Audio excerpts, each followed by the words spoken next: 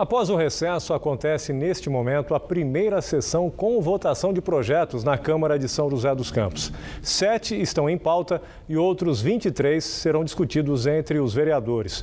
Um projeto que deve ser votado ainda nesta noite é o gatilho salarial de 5% para os servidores municipais. Para ser aprovado, são necessários nove votos favoráveis dos 21 vereadores. O projeto da nova lei de zoneamento ainda não foi colocado em pauta. A discussão havia sido barrada na Câmara, mas o TJ suspendeu a liminar e abriu caminho para que as novas regras de uso e ocupação do solo sejam debatidas. A Prefeitura de São José dos Campos deseja, espera que a votação aconteça ainda neste mês, de preferência depois do Carnaval. Mas a Comissão de Planejamento que analisa o projeto lá na Câmara tem até o dia 15 de março para dar o parecer. E continua a série de audiências públicas sobre a nova lei de zoneamento em São José dos Campos. Serão cinco no total. Né? O encontro de hoje acontece neste momento na Casa do Idoso do Bosque dos Eucaliptos, região sul. Anote o endereço, ainda dá tempo de você participar. Avenida Andrômeda, 2601. E amanhã o debate vai ser na Casa do Idoso do bairro Santana, que fica na região norte da cidade. O endereço é Rua Carlos Belmiro dos Santos, número 99. As audiências acontecem sempre a partir das 7 horas da noite. A Unifesp abriu hoje matrículas para os aprovados no vestibular, mas é preciso correr, hein? O prazo para confirmar a vaga termina amanhã.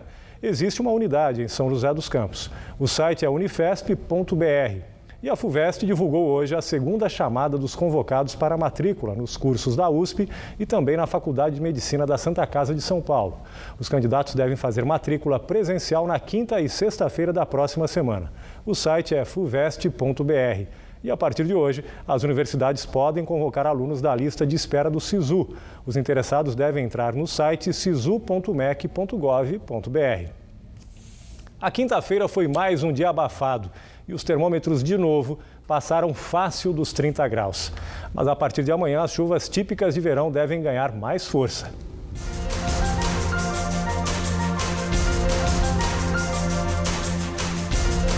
Na Serra da Mantiqueira faz sol de manhã e chove à tarde.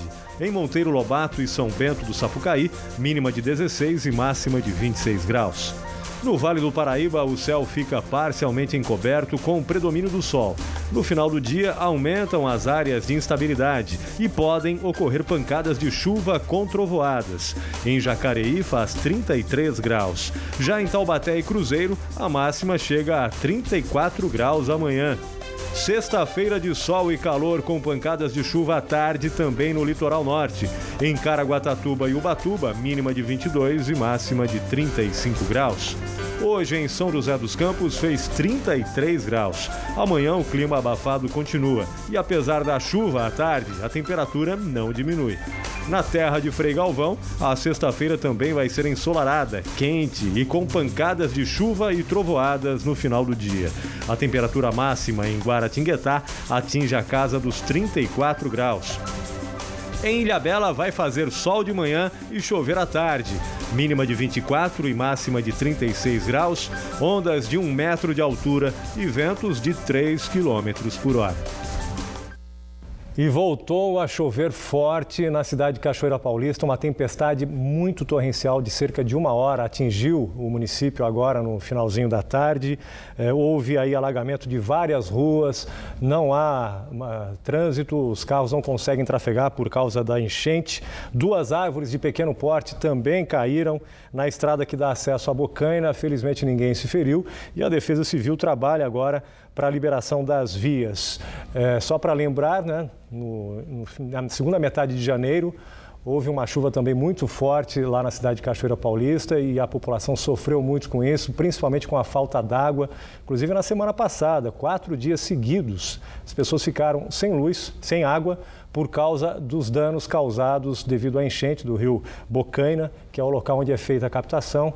A adutora não resistiu ao volume de água, teve que ser trocada, a Sabesp fez uma obra emergencial, então a gente torce aí para que essa obra realmente tenha dado resultado e a população não fique de novo sem água lá em Cachoeira Paulista. O transporte coletivo em Ilhabela vai ter tarifa promocional no Carnaval. O valor da passagem vai cair de R$ 3,40 para R$ 1,00. mas apenas para quem utiliza o bilhete único.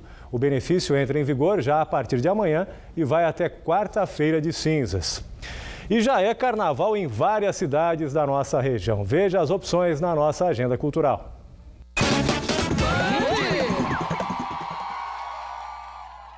Depois de uma programação intensa em Caraguatatuba, o projeto Mais Verão para Você se despede hoje com show de Paula Liba na Praça da Cultura, na Avenida da Praia, no centro, a partir das 10 da noite. É de graça.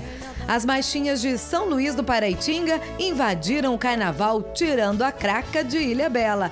Hoje, às 10 da noite, na Vila. Quem se apresenta é a banda Estrambelhados. A folia vai até o dia 9, com desfile de blocos, escolas de samba, bailes populares animados por DJs, matinês nas praias e o tradicional banho da Doroteia. Em São Sebastião, no Centro Histórico, hoje tem ensaio geral às 9 da noite e amanhã a abertura oficial do carnaval às 10 da noite. Na sexta, também às 10 da noite, a banda Papo de Samba faz o esquenta do Bloco do Barril, na Praça do Coreto. Às sete e meia, na Praia Boiçucanga, na Praça Pôr do Sol, o cortejo do Bloco Vai Quem Quer. Em São José dos Campos, a festa no Clube Luso Brasileiro começa amanhã às nove da noite. Os convites custam a partir de 20 reais. No Clube Santa Rita, a folia começa também amanhã às 10 da noite e vai ter três matinês. A expectativa é receber 4 mil pessoas por noite. Avenida Lineu de Moura, sem número. Convites a partir de 30 reais. Em Quiririm, hoje o bloco Os Mascarados vai sair da Praça da Matriz às 8 da noite em direção ao palco de eventos, onde terá carnaval de rua. Em Pindamonhangaba, Neguinho da Beija-Flor abre oficialmente o carnaval na Avenida do Samba, às 8 da noite. E à meia-noite, o bloco Socó da Madrugada anima o público na Praça Barão do Rio Branco. Em São Luís do Paraitinga, a animação amanhã será com os blocos do Lençol, do Rei Canário e do Lobisomem, às 8 e meia da noite, no centro da cidade. E como você viu aí na nossa agenda cultural de carnaval, a folia no Clube de Campo Santa Rita começa amanhã. Serão cinco bailes e três matinês. E além das tradicionais marchinhas, o Reinado de Momo também vai ser animado com música eletrônica e shows no espaço Band Folia. As cores fortes, vibrantes, já são um convite para o Carnaval do Clube de Campo Santa Rita. Serão cinco noites de folia, de sexta até terça-feira. A gente vem já há alguns meses, né?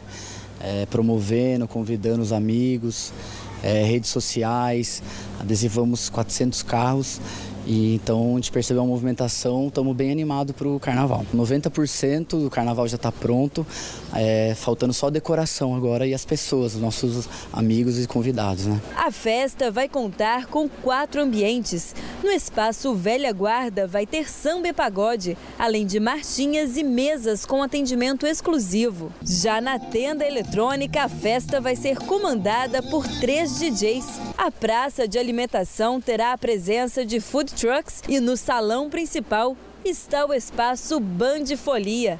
A animação vai ficar por conta da banda Orfeu e nos intervalos bandas sertanejas vão se apresentar. No Band Folia Vamos ter o camarote, ter o bar interno e toda aquela decoração que é recorrente do carnaval, aquele sentido antigo. E essas são as novidades que estão presentes. O carnaval cresceu muito, a expectativa é que tem um aumento de número de pessoas, dos foliões, em torno de 20%. E a estrutura também cresceu muito. São três matinês, band folia, espaço da Velha Guarda. Os organizadores esperam receber 3 mil foliões por noite. A festa começa às 10 horas e vai até de madrugada. As crianças e os adolescentes adolescentes vão poder curtir o carnaval nas matinês.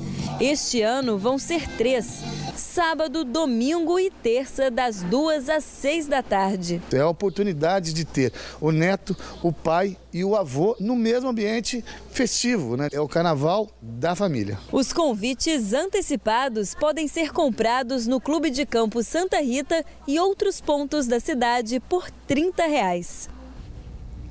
No próximo bloco tem a página esportiva do Band Cidade. Vamos falar de vôlei. Taubaté e São José jogam hoje fora de casa pela Superliga. E tem também a goleada da Águia sobre o Grêmio Barueri na Série A3 do Campeonato Paulista. Foi a segunda vitória seguida na competição. A hora certa para vocês, 7 horas e 12 minutos no horário brasileiro de verão. Voltamos já já.